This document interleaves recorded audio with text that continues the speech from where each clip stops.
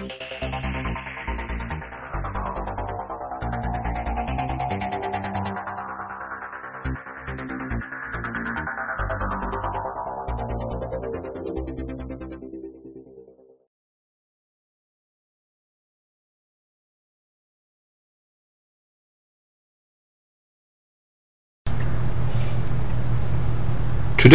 I'm going to show you how to uh, install Webmin.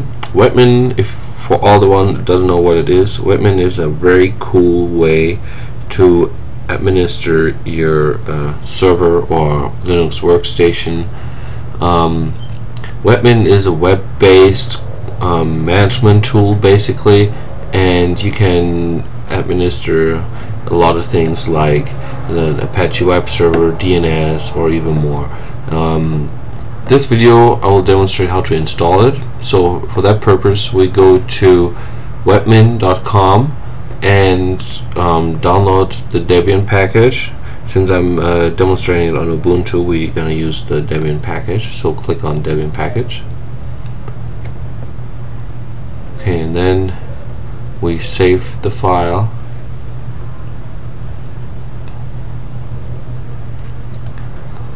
it's downloading here it takes a few seconds.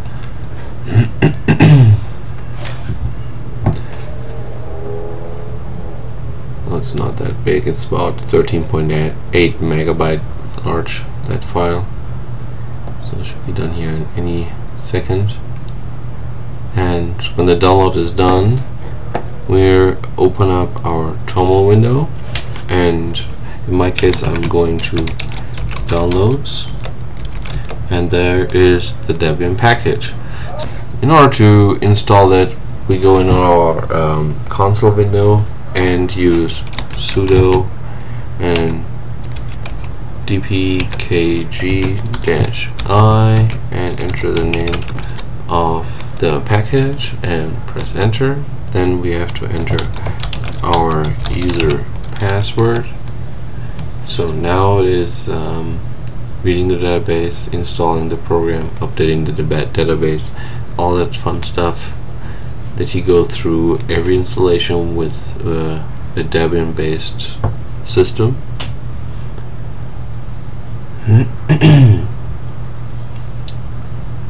So unpacking it now which will take a few more seconds. And then we have an error message okay so it's missing a few packages here. So um, one is the SSL package for Perl it's basically a few Perl modules that were missing. Um, alright in order to install those we use sudo apt-get install and then enter the name libnet dash ssl e a y dash per? Okay so it has a few other dependencies that won't install. So we use sudo apt-get like the recommended um, step down here slash f slash in, um, install. And then it will install all the dependencies. Yes. So it's downloading all those Perl modules installing it unpacking and installing it.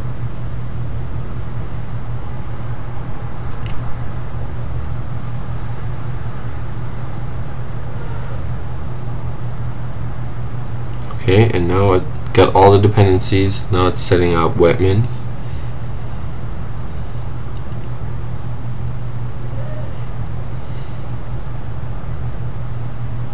alright and then here are uh, very important information how to get to the uh, Webmin interface. So in our case we have to use that web address and log in as root with uh, the root password whereas any user who can use sudo. So that we which means we can log in as um, ourselves so alright let's open up our web browser again and then type in the address HP localhost com 10 port 10000 enter and then since it's using a self-signed certificate we have to basically tell them alright we don't care just add the exception get the certificate confirm it and then there's our login. And then we log in as ourselves we should just gain access. And there it is. There's your Webmin when you start it up it will display short uh, system information here on the right hand side.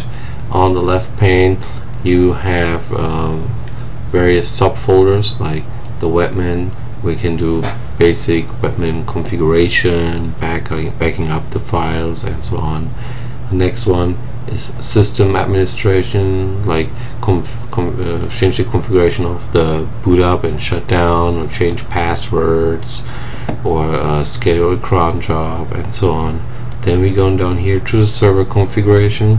Then we can administer the Apache web server which is installed on that particular machine or the postfix mail server or Samba uh, Windows file sharing.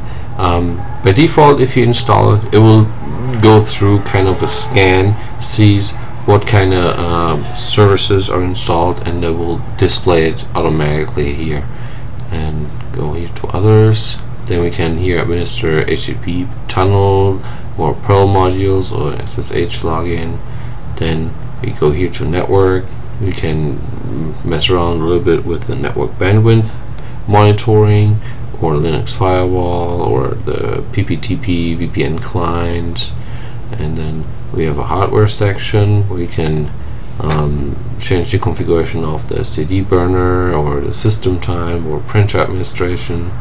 Then there's a, a cluster configuration um, menu. And then the bottom one is the unused modules. That's all the modules that won't show up um, on your Webmin interface if you don't have it installed during or before the installation of Webmin. So we'll go further down. Then you can have a look here at your view module logs and uh, system information. You can refresh modules and then you have the logout button. Alright